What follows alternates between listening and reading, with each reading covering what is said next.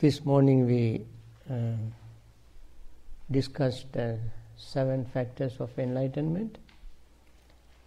Now, uh, you probably might have come across in various other places in uh, texts uh, themselves 37 factors of enlightenment.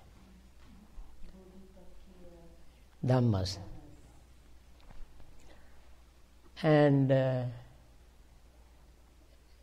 um, they are, you can find in uh, Majjhima Nikaya, in Samyutta Nikaya, and so forth, especially in these two Nikayas you can find. Uh, even Digha Nikaya.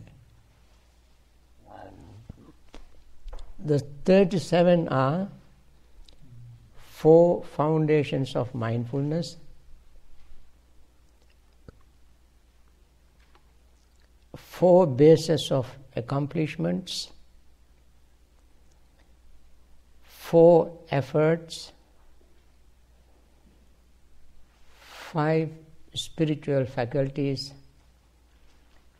and five spiritual powers. And then seven factors of enlightenment and the Noble Eightfold Path. This makes 37. Four foundations of mindfulness falls under the enlightenment factor of mindfulness.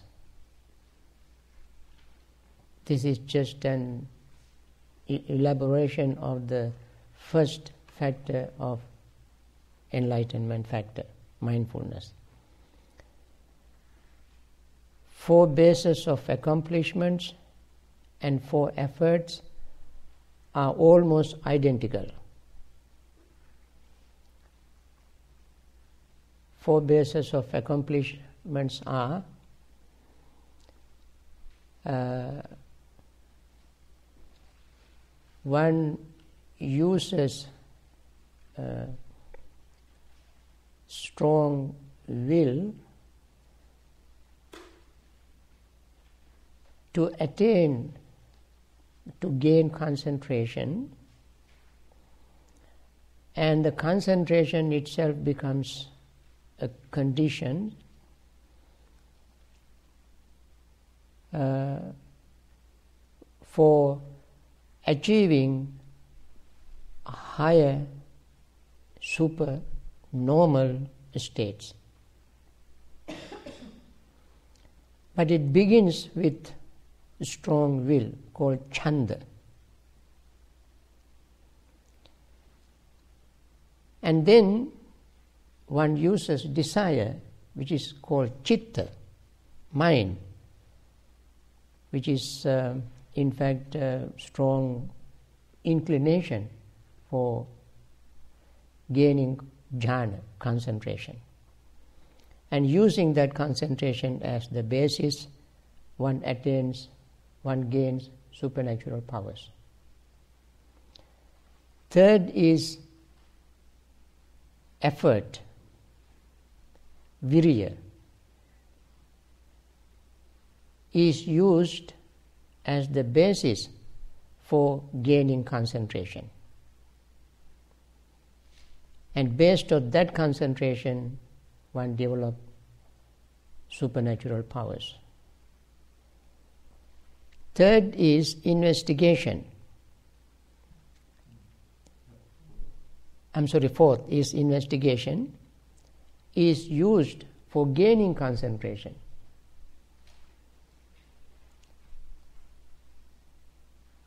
And based on that, one develops supernatural powers.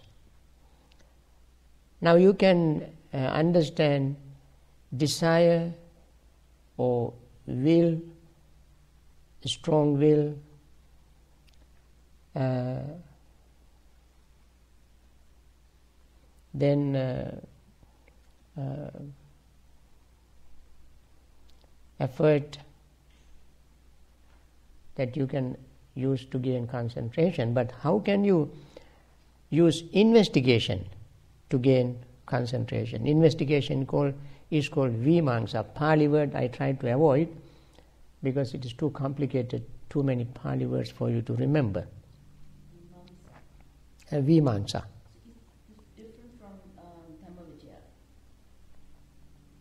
that is why I say these are identical with Vimamsa is Dhammavichaya actually. Dhammavichaya. But different word is used.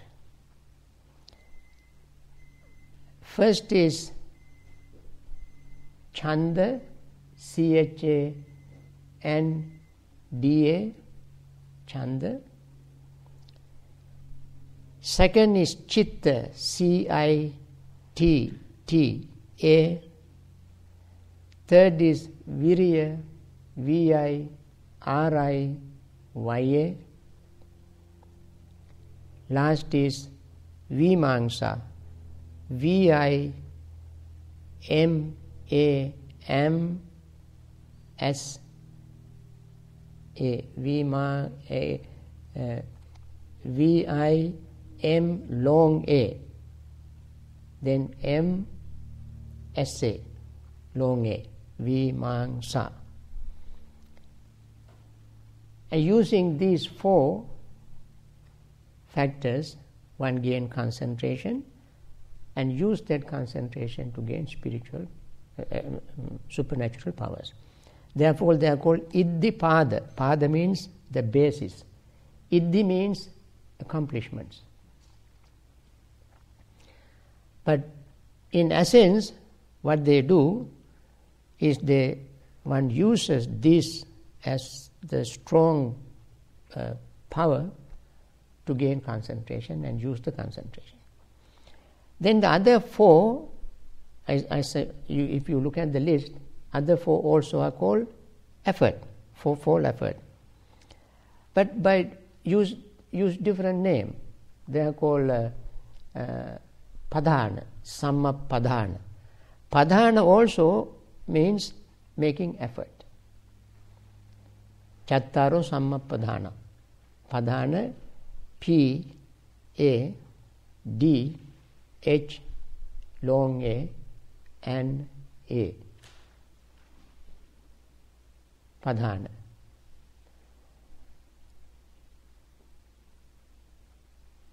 Sometimes we call it uh, Padhana Virya. The same thing. Virya V I R I Y A. Padhana is another name for it, almost redundant, synonymous. so there are four, as we have already repeated several times, fourfold effort effort to prevent, effort to overcome, effort to cultivate, effort to develop or maintain. Then, five spiritual faculties. Spiritual faculties are faith,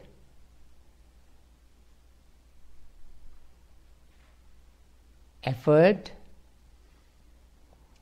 mindfulness,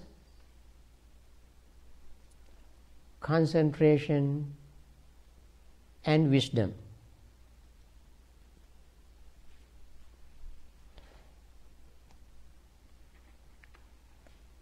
And they become spiritual powers as well. the spiritual faculties themselves become spiritual powers. Although the names are different, the things they do is the same.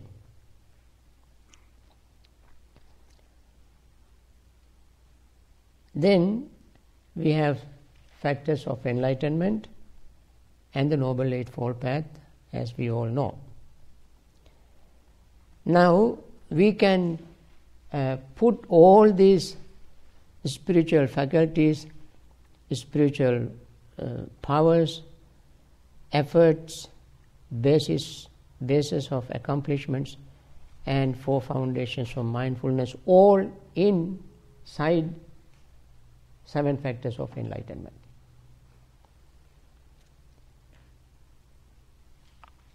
we can see the similarity between these factors and seven factors of enlightenment. In the seven factors of enlightenment, we have effort, which is divided into eight basis and effort. Both categories can fall into the enlightenment factor of effort.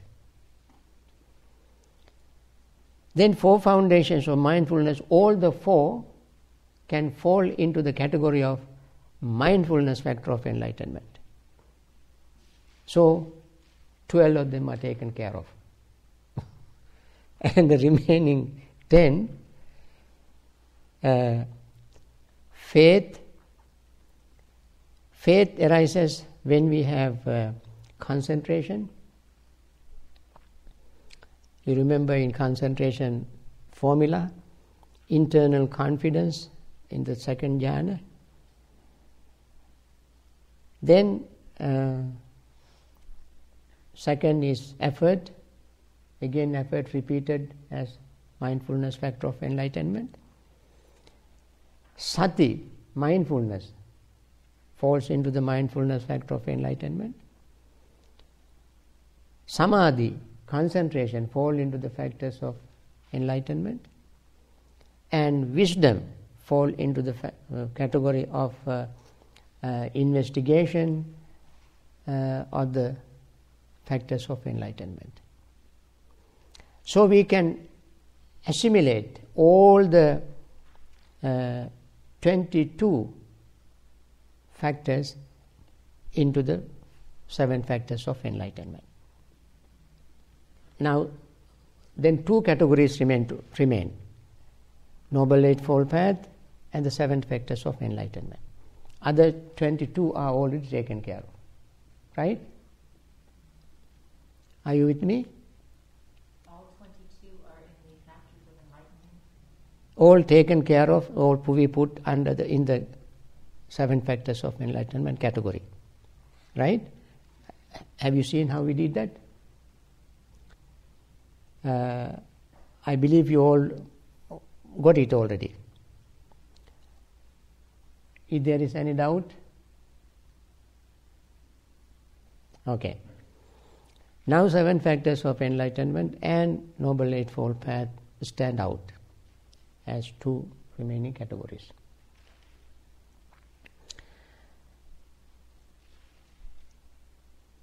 Now, Eightfold Path, understanding, thinking, speech, action, livelihood, effort, concentra- mindfulness, and concentration. Now, I wanted to write them down in a piece of paper or put it on the board so that you can have a visual image, but I didn't have time to do that.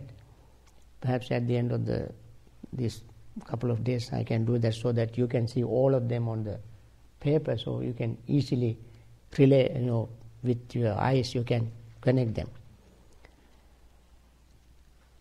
Now, just imagine number one is understanding, right understanding.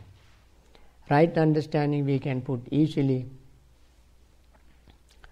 into uh, investigation because when we investigate what we do, we understand.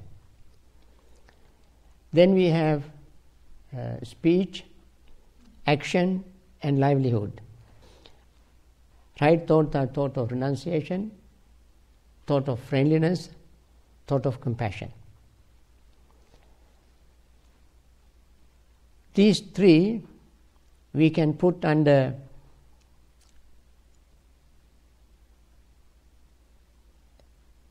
also under the category of investigation because when we investigate, we investigate the thought, uh, we investigate the right thought, wrong thought, right uh, uh, intention, wrong intention, and uh, thought of uh, friendliness, thought of compassion, thought of uh, uh, generosity, renunciation, nekkhamma. We investigate all, all come under the category of investigation. Then remains speech, action, and livelihood. Honestly speaking, without these three factors, we cannot cultivate factors of enlightenment. And therefore, they automatically included in the practice of enlightenment factors, seven factors of enlightenment. Then remains only effort, mindfulness, and concentration. They all are already in the factors of enlightenment. Wouldn't, couldn't uh, right, right uh, speech, right effort, uh, I mean, right speech, right action, and right mindfulness fit into the, uh, the right, the effort of the seven factors of enlightenment? Because it takes, requires effort to practice. That, that's what we practice when we practice right effort, giving up wrong speech, cultivating right speech, giving up wrong action, cultivating right action. Yeah, right. Uh, uh, since we have right effort, mindfulness and concentration has three factors of the seven factors of enlightenment. They are already there. What is not there are speech, action, and livelihood. No, but that falls under right effort. Huh? Wouldn't those three fall under effort? Under the fourfold efforts? Mm-hmm. Would cover sila, uh, speech, action, and livelihood? Because when you're making efforts, that's what you're making the effort to do, abandoning wrong speech, wrong action, cultivate right. You can fit into any. any huh? Where do you slot them, or where do they fall? Sankesaya foundation for I think uh, uh, that also makes sense. We can put there wherever you like to put them. I, I don't quarrel with them so long as we incorporate all of them into them. I have no uh, ownership of that. So all we have to do is to incorporate all the seven, eight no, noble eightfold path into the seven factors of enlightenment. So we can condense everything into seven factors of enlightenment. That's what I. and that is why they are called enlightenment factors. The noble eightfold path is also we put. I mean, also can put into the factors of enlightenment. Buddha himself used these terms in Mahaparinibbana Sutta. Uh, Mahaparinibbana Sutta, of course, is. a, uh, collection of various things and it's a history. Uh, various parts of the Buddha's sayings are put there and made a little history. Uh, therefore, it is not a direct uh, discourse. But others in Majjhima Nikaya are direct uh, Buddha's own discourses. Anyway, uh, so we can see mm, we don't have to you know, worry about this, uh, why these categories, why that category, and so forth, so long as we can put all of them together. so our work will be easy. Now, uh, the way to practice also is given by the Buddha in uh, Nikaya. That means uh, we put them in a like a scale. Know, scale has uh, not these bathroom scales that you stand on, but the ancient scale that has a needle in the center and two baskets on both sides, hanging on a on a little bar. So, center is the needle. Bar is going this way with the basket. When you put something here, needle goes this way. When you put something there more, it goes this way. So you got to keep the needle straight.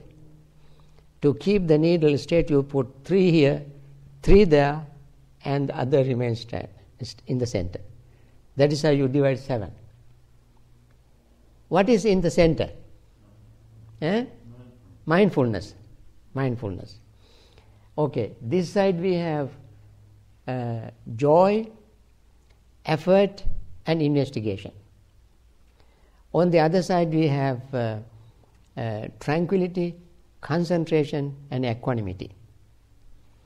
Tranquility, concentration, equanimity are passive. Joy, effort, investigation are active. Now, when the mind is sluggish, which of these we must cultivate? Yes, effort, investigation, or mindfulness. We, have, we cultivate. When the mind is agitated, excited, what should we cultivate? Tranquility, concentration, and equanimity. Mindfulness? Mindfulness is the one that is uh, watching that way, this way, both sides. Mindfulness. Mindfulness, Mindfulness exactly, mindfulness, right.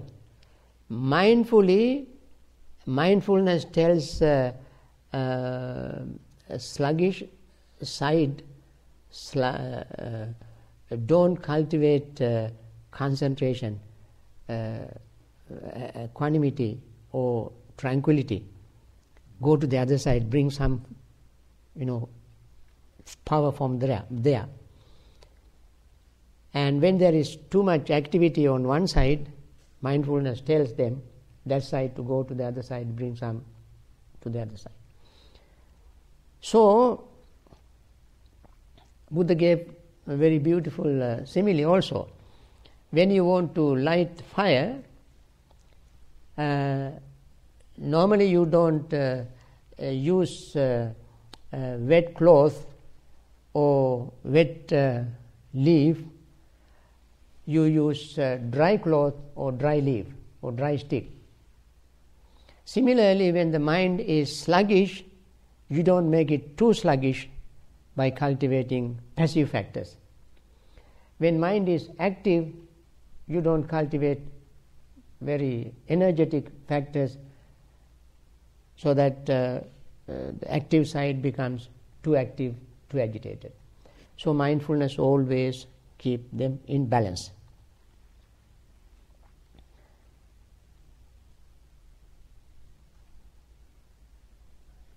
There, are, there is something I want to say which um, sometimes may uh, sound like controversial,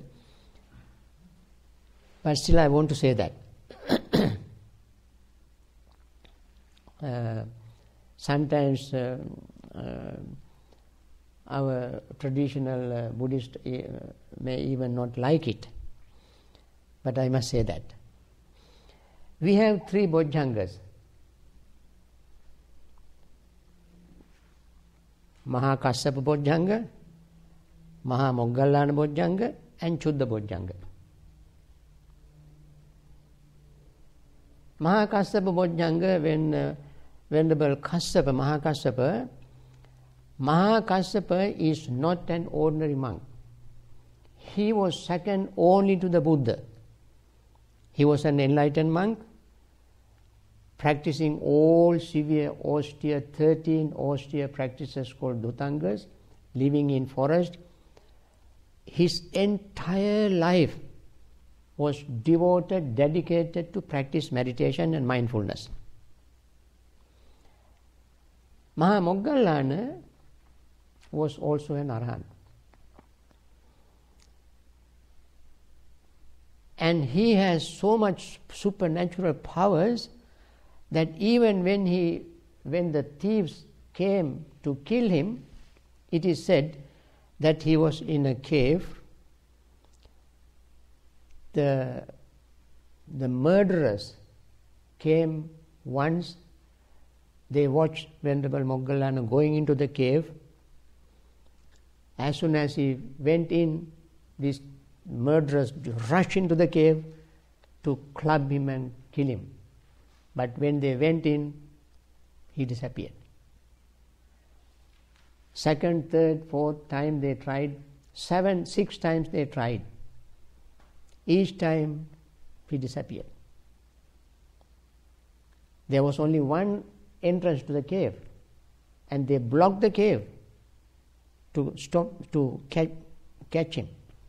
Each time he disappeared because he has such a supernatural. He practiced this seven factors of enlightenment, four foundations of mindfulness, everything. And finally, Moggallana thought, gee, why do these people come after me? I have not done no wrong to them, never offended them. Why do they come? Then he saw his own previous bad karma that he had killed his mother and father in one of his previous lives.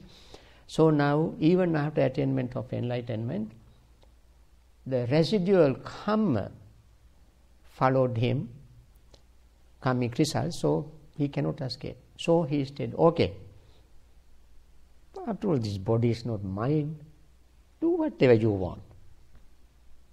They came and, came and clubbed him, broke him, his bones into pieces, and make it, made it like a bag of grains, and left.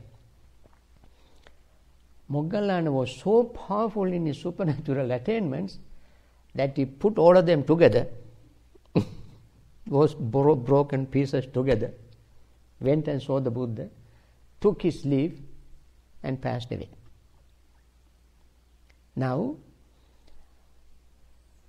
when these two fell ill, it is said that Buddha went and recited factors of enlightenment.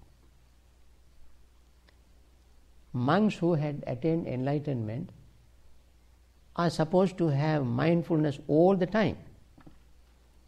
You know, I mentioned this morning when you when mindfulness factor of enlightenment is perfect, it is always there. It is impeccable. You will never lose it. No, nothing can invade it. Nothing can, nothing can weaken it. It always remains intact, very powerful.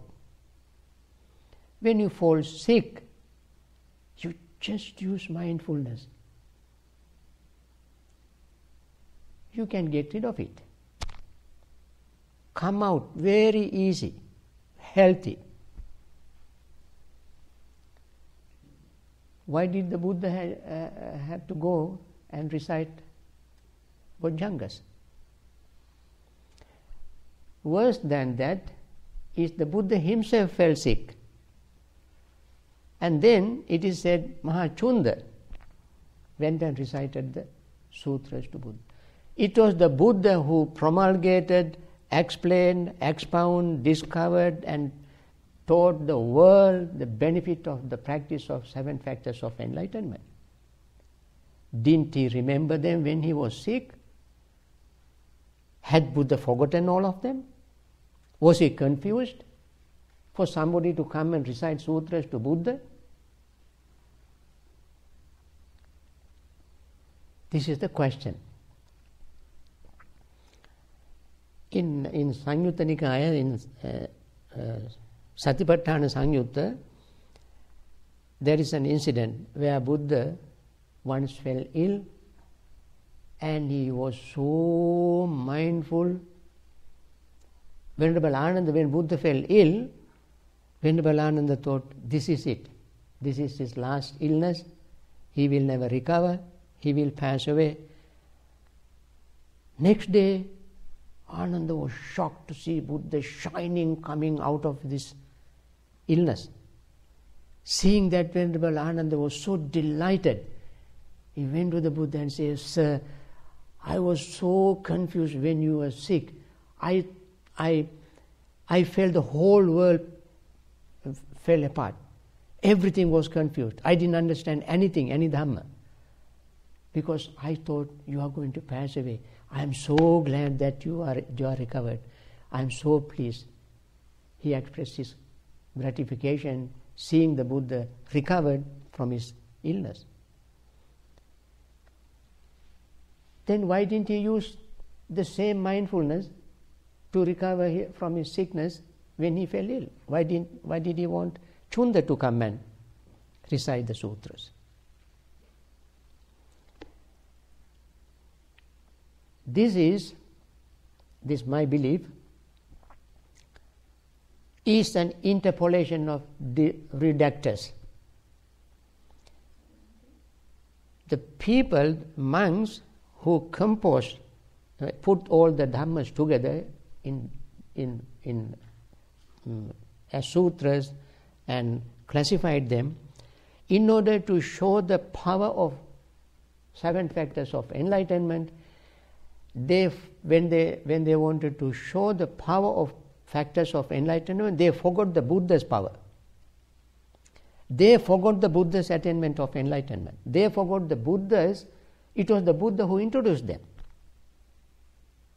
And they completely forgot the Buddha's supreme enlightened state, completely forgot that the Buddha was able to be mindful all the time. Whenever he was sick, he was able to recover from his sickness by using his mindfulness. They have forgotten all this because they, don't, they wanted to glorify the factors of enlightenment. And Buddha said, One who sees me sees the Dhamma, one who sees the Dhamma sees me. That's what he, he told Vakkali. He told Vakkali, Vakkali, see the Dhamma. When you see the Dhamma, I am there. So, Buddha and Dhamma were not different. Because whatever Buddha taught, he practiced. He, he, these factors of enlightenment Buddha taught the world from his own practice, from his own experience, from his own realization, from his own attainment of enlightenment. And from his own inner wisdom, he taught these things. And it was not difficult for the Buddha just to use them whenever he falls sick, fell sick. Not only that, in Majjhima Nikaya there is a discourse where Buddha said, he said to Venerable Ananda, Ananda, if uh, I don't remember the number of monks, four or eight or certain number of monks sit around me and ask questions on the four foundations of mindfulness, even simultaneously, all 24 hours, more, this morning, from this morning till next morning. If they ask me questions, I will answer all of them. Then he was, Buddha was 80 years old. He said, even I am, although I am 80 years old now, still I am, my mindfulness is so powerful that then I can answer any question anybody asks from morning, one morning till next morning, without getting tired, without losing the track of mindfulness. That was the Buddha. And therefore, this uh, when you read these uh, three Bojjhangas, uh, Sutras, not the Bojjhangas themselves, Bojjhanga Sutras that were recited to Mahakassapa, Mahamoggallana, and above all to the Buddha. You can see this is a very devotional uh, composition by very pious religious monks to show the power of seven factors of enlightenment. When, we, when they tried to show the power of seven factors of enlightenment, they totally forgot about the power of the Buddha and the power of enlightened person. Both Mahakassapa, Mahamoggallana were fully enlightened persons, and Buddha was even greater than that, and therefore one who practices developed the factors of enlightenment, Buddha said, that person is totally free from all kind of uh, mental suffering. For physical aches and pains, you can take medication. That is different. But these factors, this recital of sutras, we recite to recover from mental states. If somebody suffers from mental states, from sickness, because when people are sick, they are depressed. In order to recover from that depression, we chant sutras. Buddha had never been depressed. Anand, uh, Venerable and Sar, uh, uh, also were not depressed. And therefore, factors of enlightenment are extremely powerful.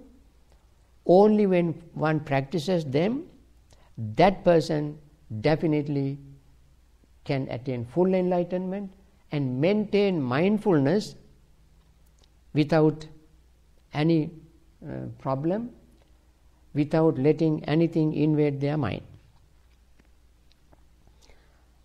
In the sutta, in uh, you know what I said so far about this Mahakassapa, Mahamoggallana, and the Buddha is my own feeling that uh, uh, this would uh, uh, be an insult to say that somebody came and recited these things to the Buddha is an insult to the Buddha.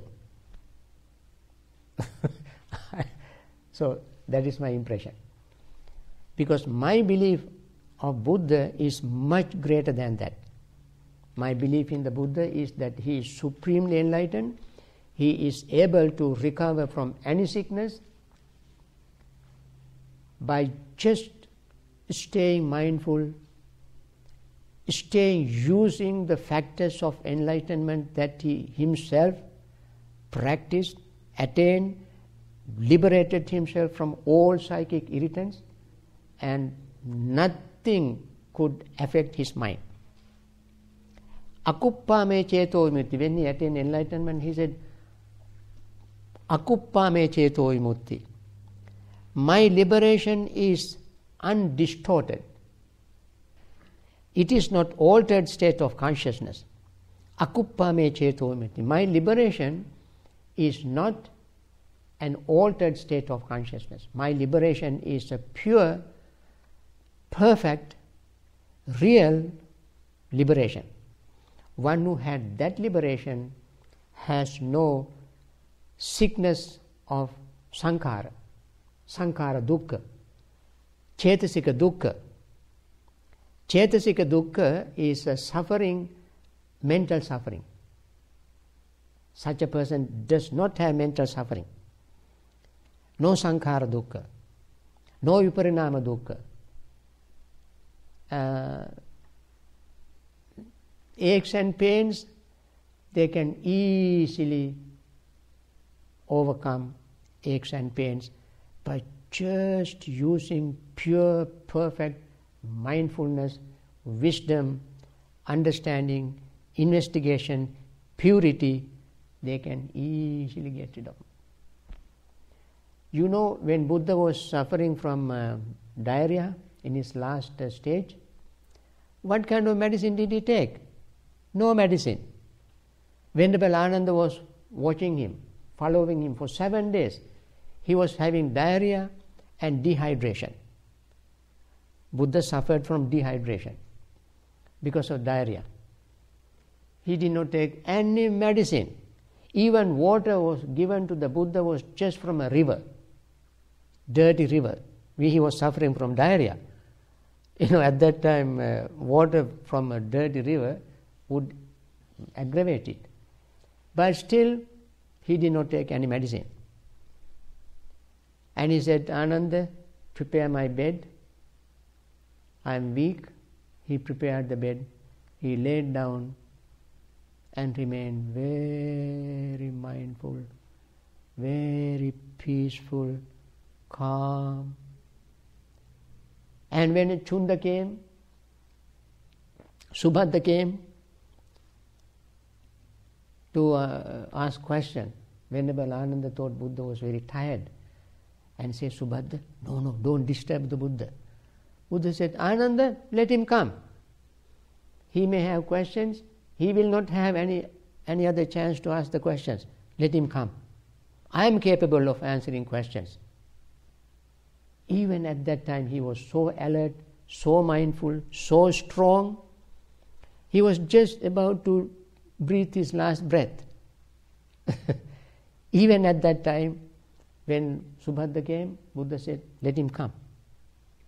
And he answered his question.